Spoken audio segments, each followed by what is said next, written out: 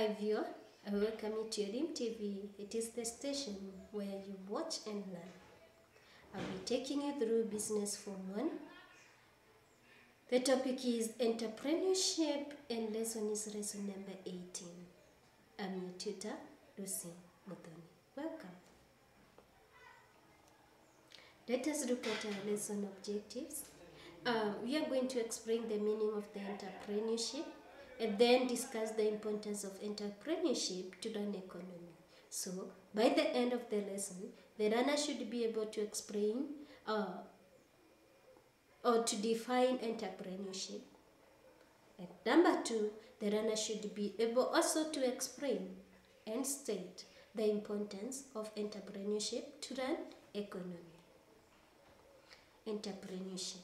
Entrepreneurship, it is the process of identifying a business opportunity and getting necessary resource to start and run a business. So that process of identifying the opportunity, the gap, and then starting the business, it is what we refer to it as entrepreneurship, and also you are there to run the business. The person involved in entrepreneurship is referred to as the entrepreneur. So that person who identifies the business opportunities, the business gap, gap, uh, start a business, then run that business is referred to as an entrepreneur.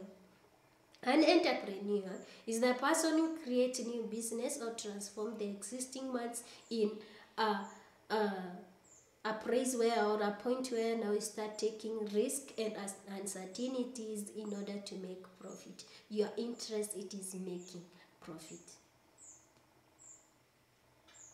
Uh, what are the importance of entrepreneurship to an economy? One, there is the creation of employment. As you are thinking to start a business, already you have created yourself a business. As your business is enlarging or as you are running the business, you might employ other people. So you are creating the employment. Number two, formation of capital. And remember we said the capital is everything that assists in production. The machineries that are required. So you are the one who is providing the machineries. You form those uh, or you are giving the capital. Number three, reducing rural-urban migration among the youth generation. Where you start a business or when you start a business already you have a job so you don't go uh, or you, there is no rural-urban migration, you have already created a job. Number four, raising standards of living of people through a varying a variety of quality goods. This is a point where now you start earning the income. After earning the income, uh, your standard of living is raising and also a varying that commodity you are producing to the to the people. You are also raising their standard of living. Number five, reducing the amount spent on import by producing goods and services locally, thus substituting the import.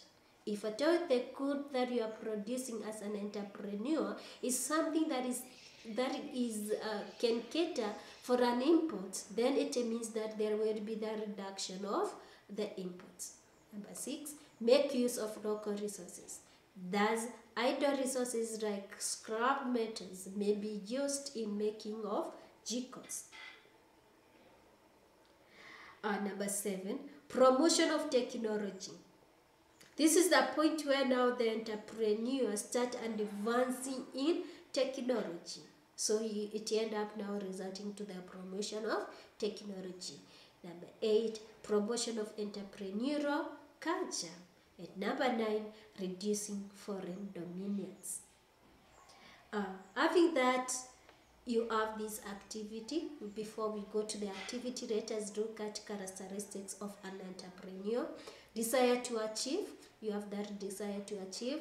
Ability to solve problems. Readiness to take the risk. Initiative.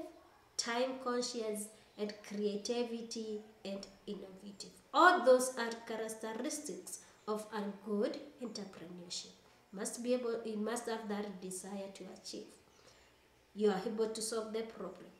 You are ready to take the risk.